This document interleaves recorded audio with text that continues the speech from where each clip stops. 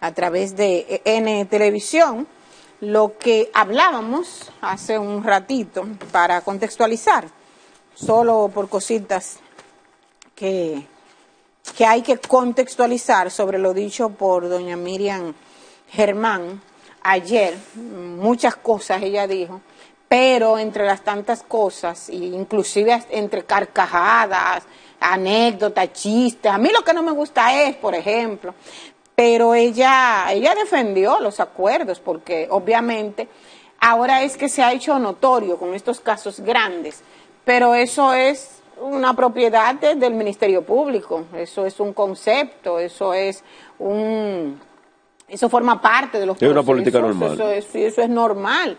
Eso ha trascendido con los casos, como yo digo, que con Odebrecht nosotros como país nos edificamos, porque con Odebrecht fue que yo comencé a escuchar el término debido proceso. Mira. Perdón, encartados. Por ejemplo, porque uno como... ¿eh? Nuevos términos. es como si, es como si, sí, encartados. El término de interno, no preso, o sea, pero ok, eso está establecido ahí. Lo que pasa que hasta me dicen abogados amigos eh, y gente del Ministerio Público que esos acuerdos, hasta con personas de, eh, implicadas en casos menores, que esos acuerdos han existido siempre. Y, eso es, es una parte, o sea, eso está establecido ahí. Y es una alternativa del Ministerio Público. Lo que pasa es que han salido en relieve, en alto relieve, con estos casos grandes. Pero ella ayer defendió los acuerdos, ella dijo lo que le gusta y lo que no le gusta. Lo que no le gusta es que se usen las palabras eh, que ofendan, eh, sin el rigor, sin el debido rigor, etcétera. Pero ella, mm, lo que sí me gustó que dijo, o que reiteró, es que ella nunca tentaría contra la libertad de expresión. Qué bueno que ella lo dijo, lo reiteró eso, porque ya habían cañones enfilados para ella, porque es que el comunicado, el comunicado que al parecer no lo ni se lo leyeron a ella parece, porque es que lo que se habla es como si ella arremetió ahí contra los que se dice en ese primer comunicado que se escudan en un micrófono para decir cosas para eh, eh, dañar, para dañar eh, a, gente, trayectoria. Pero el encuentro ayer de verdad, y que estaba convocado antes, que no fue por el, el propósito no fue el tema ahora en cuestión, pero qué bueno que se dio en ese momento, porque ahí se pudo, se pudo ahí pues limar esas asperezas eh, ella ahí volvió, como yo decía hace un ratito, a reiterar que ella se va el 16 de agosto.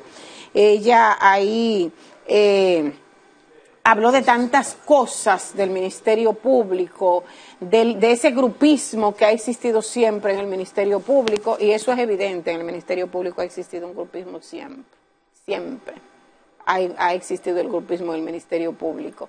Al parecer, el Ministerio Público tiene un patrón que el que llega, como que poco puede hacer, o ahí dentro habrá lo que dijo Danilo que hay dentro del PLD, habrá traidores ahí dentro atentando contra una gestión. Ratas traidoras.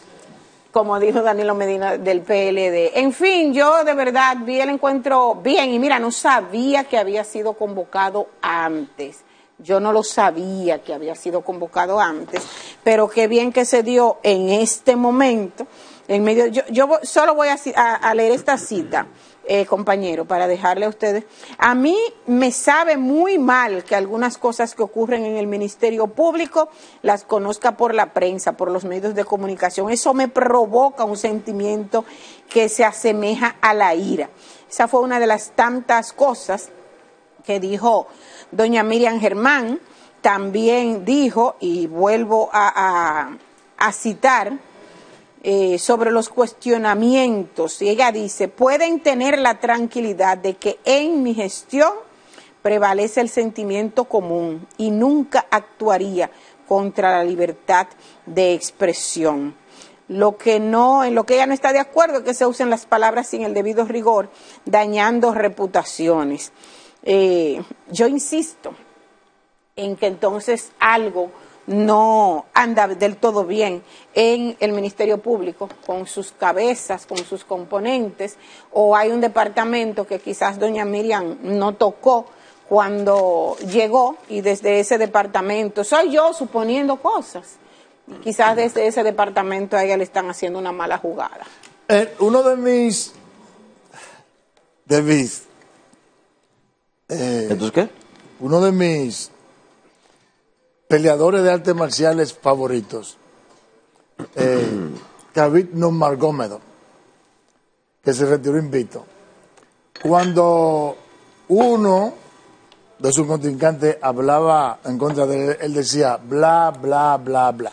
¿Qué es? Porque lo agarraba luego y le demostraba que en la práctica él se lo comía vivo. Entonces, ¿qué pasa? Palabras. Palabras de doña Miriam. Hechos. ¿Cuáles son los hechos?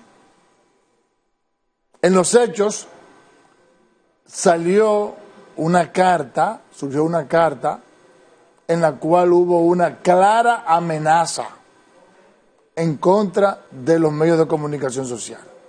En- de manera particular a un periodista, Martínez Pozo, por unas declaraciones que él dio, pero que luego la prensa tiene que poner su barba al remojo. Su barba al remojo. ¿Por qué? Porque si se lo hacen a él, se lo van a hacer a todo cualquier otro periodista que dé una declaración que no le gusta el Ministerio Público.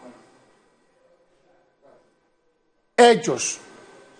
En los hechos, en la forma de manejar los temas jurídicos y los casos, no hay absolutamente ninguna diferencia entre Jen Alain Rodríguez y Miriam Germán.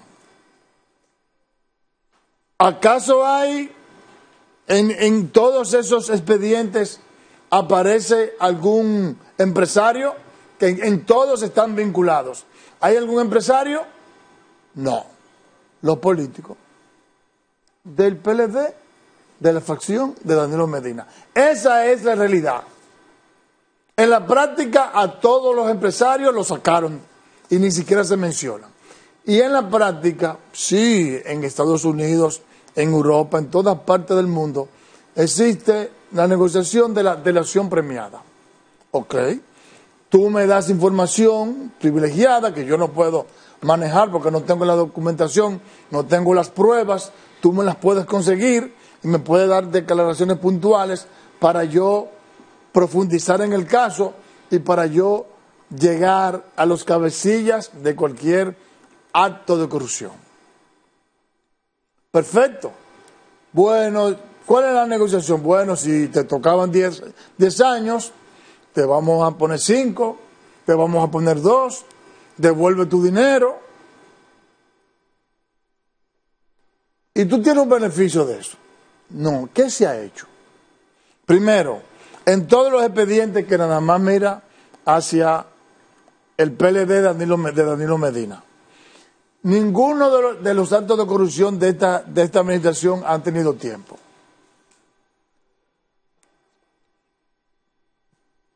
El acuerdo de homologación, ¿qué dice? ¿Cuál es el tema? No es que se haga, es cómo se haga. La gran pregunta. Oigan, ¿cómo que se va a hacer? A esos leones, que todo el mundo se sintió bien cuando vio en la prensa que iban a devolver el dinero que se habían robado, porque son unos ladronazos. No. Si usted se roba 2.500 millones de pesos de un ladronazo, entonces, ¿qué pasa? Oiga, ¿cómo es que vamos a hacer con esos ladronazos? Porque cuando se, se fue profundizando en la investigación, se determinó que eran del sector privado y que eran cercanos al PRM, incluso cercanos a de los dirigentes de más influencia del PRM. A eso hay que tratarlo con mano de seda, con selectividad. Entonces, oye, ¿qué es lo que van a hacer? No le van a quitar el dinero, como uno pensó, como uno escuchó en la radio, no. Es que a esos, en el acuerdo de homologación, homologación, lo que se le va es a dar un contrato, le van a dar su dinero para que lo sigan disfrutando, y le van a dar un contrato para que con el contrato él le pague lo que le robó al Estado Dominicano. Eso es más vulgar que cualquier acto de corrupción que se haya determinado ahí. Entonces, en la, en la práctica, yo estoy totalmente decepcionado con, con Miriam Germán, porque ha sido igual o peor. Igual o peor que, que lo que hizo Jen Alain. En la práctica, no en los hechos de hablar bonito, no, no, no será tan petulante ni tan eh, como lo fue Jen Alain, ni tan atrevido, pero en la práctica, en lo que tiene que ver diga, con la, la, la, la, la defensa del patrimonio público, la lucha contra la corrupción, la misma pendejada de Jen Alain y de todos los procuradores que han estado ahí. Que por cierto, me llamó la atención que a, cuatro días de las elecciones pusieran en, en, los medios de comunicación el caso Calamar. Una actitud política clara. Un, un, un, una, ayuda política al gobierno de turno claro para que ganara. Es decir, justicia independiente. No hay justicia independiente. Que, y, y, y, que además ella ha sido diferente. No es diferente nada. Matices. Matices. Pero en, en el fondo, exactamente lo mismo. Una verdadera decepción para mí. Bueno, mira, eh, a raíz de lo que sucedió con, con muchas empresas en la gestión de, del presidente Danilo Medina, eh, y casos de empresas con renombre y figuras importantes cuyas empresas fueron incluso sacadas del registro de proveedor del Estado, con Carlos Pimentel a la cabeza en, en compras y contrataciones. A uno muchas veces le llama la atención cuando uno ve situaciones con otras empresas que no pasa lo mismo. Por ejemplo, esta empresa Selviamet, que es la empresa de la señora Terán, Terán de Bonetti, esta empresa ha sido, ella estuvo vinculada ¿no? a el, al, al, tema Medusa, al caso Medusa. La empresa, sin embargo, no fue sacada del registro del proveedor del Estado. Oigan esto, ¿eh? Alrededor de 108 empresas fueron sacadas del registro del proveedor del Estado. Esa tuvo la suerte que no la sacaron. Y entonces eh, el, el, tema está en el tapete, o, o, uno de los temas que mantienen este tema en el ambiente, en el tapete, eh, es por esto, por esta empresa, por esta señora que ha tenido una suerte de, increíble, titánica. Concho. Óyame, una persona, una persona que esté vinculada a un caso, pero le da un contrato de 2.500 millones de pesos. Entonces usted tiene que ponerse a pensar, ¿y qué pasó aquí? Entonces, compras y contrataciones no sé si compras y contrataciones obvió, obvió por ignorancia a la empresa, obvió por, por, eh, eh, por, por, por, por eh, adrede la empresa, no sé, pero qué, qué, qué, suerte y qué coincidencia que esta persona sea la misma persona del tema que el del padre Villini. Ustedes recordarán. Entonces, ¿qué pasa aquí? Aquí lo que estamos viendo es que ciertamente aunque doña Miriam lo quiera negar, y, y, miren, me la pueden tener ahí al frente, pero aunque ella lo quiera negar, hay una situación aquí que se está, eh, que de una u otra forma se quiere hacer, hacer creer a la sociedad. Doña Miriam, lamentablemente, uno puede decir de ella per se, de ella, ella. Eh, bueno, una persona íntegra, una, eh, un accionar intachable, prístino, en, la, en, en, su, en su paso por, por la, la, vida pública, pero lamentablemente como procuradora no está, no, no está diciendo lo mismo. Entonces, déjame terminar, por favor. Yo te escucho. Sí, sí, cómo no, cómo no. Tú, tú puedes, no hay problema, no puedes hay venir por la Te escucho, te escucho. Continúe. Entonces, ¿qué pasa aquí? Aquí estamos viendo que ciertamente la Procuraduría General de la República, con doña Miriam a la cabeza, hay que decirlo así, con Jenny Berenice a la cabeza, por otra vía, hay que decirlo así, y con el señor Camacho a la cabeza, también hay que decirlo así, han actuado a sus anchas. ¿Por qué doña Miriam dice, ah, pero a mí me extrañan cosas que pasan en la institución que yo manejo? ¿Por qué? Bueno, porque como usted se recuerda cuando Jean Alain iba, iba fuera del país, que lo detuvieron en el aeropuerto, que ella le envió una carta a ellos dos diciendo, no, no, no, no, no, eso, eh, eh, eh, eso, eso yo no lo, no lo comparto con ustedes. Porque ellos dos actúan también a sus anchas y actúan como, eh, ellos entienden a veces, ellos dos, que son los dueños del Ministerio Público y actúan así. Y por eso doña Miriam dice, yo me desligo much- de, muchas cosas que pasan aquí en el Ministerio Público. Yo a veces pasan cosas que yo no, no las comprendo. Es por eso. Pero a veces uno quiere entender que es verdad que ella no, la, no las conoce, las cosas que, pas- cosas que pasan ahí. Ahora, yo le voy a decir una cosa a ustedes. Oscar Medina, porque miren, eh, a, a esto hay que prestar atención y ojalá otros colegas periodistas, comunicadores, se atrevan a decirlo. Pero Oscar Medina dijo el lunes, estuve viendo yo el video ayer, Oscar Medina dijo el lunes que eso que le pasó a Julio Martínez Pozo, le pasó a él, pero en otra tónica. Oscar Medina escribió un artículo, dicho por él, en el Diario Libre, haciendo una crítica constructiva al Ministerio Público.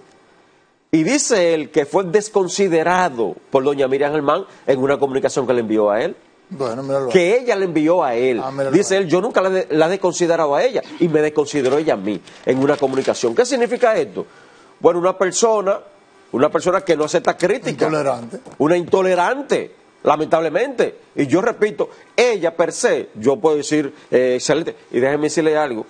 Cuando aquí pasó lo que pasó con Jean Alain y ella, aquí le pedimos al presidente Danilo Medina que, que destituyera a Jean Alain, pero le pedimos a Jean Alain que renunciara No, por su accionar. El país se volcó a favor de doña Miriam. El país se volcó a favor de doña Miriam. Por algo que aceptó, que permitió que pasara el presidente de turno. Claro, entonces, ¿qué pasó? Eh, cuando Daniel Cántara y Julio Martínez Pozo fueron aquí atacados por Jean Alain Rodríguez, todos estuvimos a favor de los, de los colegas entonces, y digo entonces porque cuando eso yo no trabajaba aquí, pero yo estuve, yo estuve en el medio que yo estaba, yo estuve eh, ahí al frente a favor de- de- los colegas. Y nos pusimos todos a una con el tema de, de doña Miriam, a favor de ella, con esa, e- e- e- esa humillación que, le, que se le hizo a, a- ella a, a través de, de Jean Alain Rodríguez. Entonces yo no entiendo el accionar de ella con los medios de comunicación. Eso que ella está diciendo ahora es porque se va. Es porque se va y quiere irse tranquila. Y quiere irse que cuando la vean por ahí los periodistas a los que ella hoy está, está enfrentando, no, las, no, no- no la ataquen. Pero ella ha actuado de una manera que no es y no ha sido la correcta. Eso hay que decirlo. Y ojalá, repito, otros colegas, otros colegas se animen a, hablar qué es lo que pasa. Entonces, es, es lamentable. Yo, con lo de Julio Martínez Pozo, yo lo vi como una amenaza a los medios de comunicación. Sobre todo con el tema del- de, de- de la ley esa de la 124 del De DNI, en honor a la verdad. Pero esa, pero esa es una realidad, me- eso es una evidencia. Mire, tengo una fotografía que quiero presentar porque hoy yo estoy, no quería alterarme, pero yo estoy de aniversario, aniversario matrimonial. Ah, Ojalá el señor director los pueda colocar unas imágenes que le envié Una ahí de un TBT, de un TBT, es- mujer- esa que ustedes ven ahí, es que Una usted mujer es la jefa. Esa es la que yo quiero, esa es Esa es la foto. jefa. Una Esa es la foto. Felicitaciones a Esa es Omaira. la gran mujer que te Sí, sí, soporta. felicitaciones a Omaira Vargas y al señor Robinson Galvez Lai por este 16, 16 años, señores. Como que nada. Qué bueno. Mira, Qué Beso, bueno, mi amor. qué bueno, felicitaciones quiero- a ambos, pero no rompa el esquema de la felicitación, compañero. Usted no quiere que yo le felicite. Oh, pero claro que sí. Qué Pero- barbaridad. pero Felicitaciones a ambos. Eh, qué bueno, qué bueno que han Hoy es llegado viernes, yo no y esto indica que el propósito de un matrimonio no es simplemente que nos casamos y punto. Hay Eh. un compromiso ya familiar y de sociedad. Eso es así. Y ahí hay un botón de muestra. Un saludo al amigo Luis Miñoso, Qué barbaridad. compañero. Que por cierto, los padres de Luis Miñoso ayer, personas a quienes quiero mucho, don Luis Miñoso y, y doña Carmen Rojas, estuvieron de aniversario de boda también. Ah, qué bueno. Creo que son 54 años. Qué bien, qué estuvieron ayer. Qué bien. Sí, sí, los felicité y le dije que hoy me tocaba a mí. Bueno, miren, yo quiero concluir esto con esta reflexión. Por favor. Miren, el acuerdo ese de hom- holomoga- homo- hom- Homólogo. Homologación. Ok. Ese acuerdo implica vincular a otras instituciones, otros ministerios. Por ejemplo, ahí está diciendo que si le dan una obra del Estado, que quiere decir el, Ministerio de la Vivienda, que le dio una de 2.500, no, no, no, o de obra pública, o de, para tú pagar 2.500 millones de pesos, tiene que ser una obra grande. Yo le voy a hacer la siguiente pregunta. Y es verdad que un ministro, a sabiendas, porque ellos todos saben la información, ¿eh? no hagamos lo tonto un ministro a de que una persona X tiene problemas con la, con la justicia, con el Ministerio Público, por asuntos de corrupción, se va, va a cometer el error o se va a atrever a entregarle una obra cuyos beneficios sean 1.500 millones de, de, pesos, que ya ustedes saben que es una obra de por lo menos 10 mil o 15 mil millones de pesos a menos que sea una negociación en la que estén involucrados todos los ministerios y que estén involucrados la gente que tiene poder para autorizar eso, esa, esa negociación no se da. Entonces, yo tengo que sacar la conclusión de que, de que definitivamente la, la lucha aquella contra la corrupción y la transparencia no es más que un, una pantomima, una farsa. Todo un teatro montado.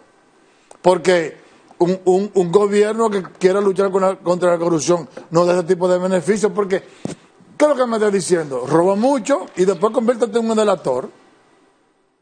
¿Tú sabes cuánto lo dice?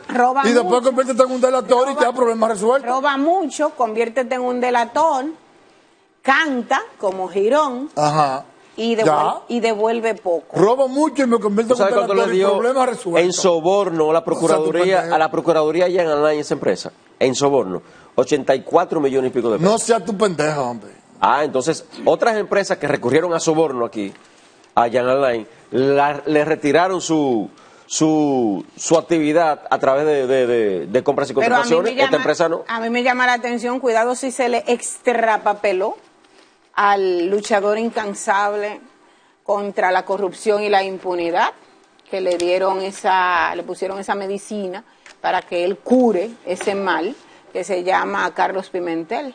Recordemos que Carlos Pimentel viene, su origen está en Marcha Verde.